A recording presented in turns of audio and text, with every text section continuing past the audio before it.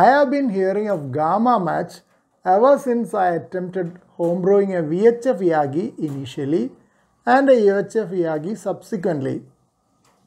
Gamma match is meant to match the lowered impedance of a multi-element Yagi compared to a dipole with a 50 ohms feed line running to a radio which also has a 50 ohms impedance. But I came across a beta match which is also known as a hairpin match a couple of days back while reading about another topic on antennas.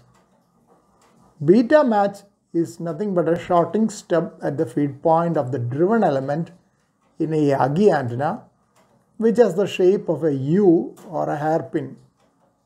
This is of course a very simplified explanation of a beta match and actual calculation of the size of beta match will depend on the type of balun to be used at the feed point, operating frequency, as well as conductivity, permeability, diameter, spacing, velocity factor, and many other parameters of the beta match segment.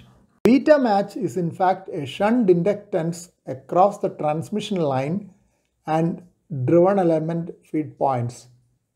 To give a matching capacitance, the driven element is shortened a bit to give capacitive reactance at the intended frequency. Beta match can be made of a segment of transmission line which is shorted at the end opposite the feed point.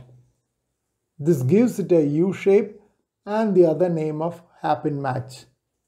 If the length of the stub is less than a quarter wavelength, the impedance at the open end of the stub will be purely inductive.